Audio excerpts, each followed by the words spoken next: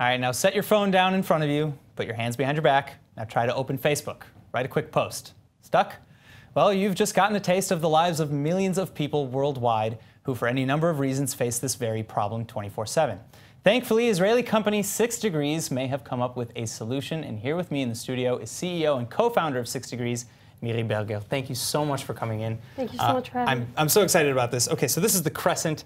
Tell me about this armband and kind of what Six Degrees does with it.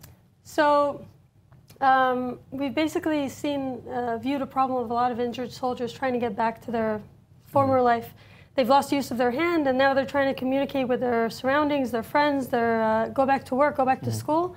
So we've developed uh, a crescent armband that translates your arm motion, any motion you have, whether it's limited or full, uh, into control over your smart device, just as you can see on the so, screen. So I mean, how how do you get all the technology in this thing to translate to all of the functions of a, of a smart you know, device?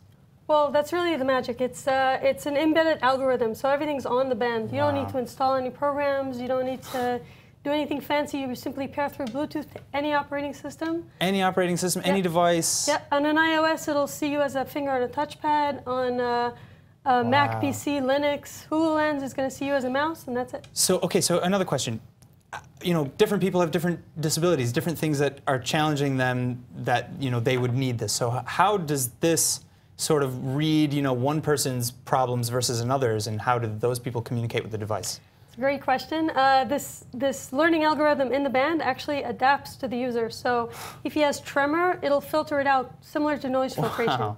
It'll come out of the box ready to do a number of functions. And so let's say a click, it's either twisting your arm, lifting your shoulder, or just waiting for your mouse to click by itself after a few seconds. That's incredible. If you do it for a few times, it learns that that's your preference, it keeps going. And that's it. All right, so uh, one of my final questions to you, what does six degrees mean? Why, where'd you get that So title? we got the name, a lot of people confuse it with uh, six degrees of separation. In Israel, you know, they say it's three or two, but we really started from motion. So it's six degrees in space, six degrees of motion, X, Y, Z, okay. or X, Y, Z in motion. Each one is a Very degree, cool. and that's where the name comes from. All right, and then this is available just on sixdegrees.com or? Yep, uh, so it's uh, sixdegrees.tech. .tech. It's okay. our website. Um, feel free to put your email in and we'll get back to you and tell you where you can get it. Tech. Wow, this is amazing. Miri Berger, thank you so much for coming in thank from, so from Six Degrees. Thank you.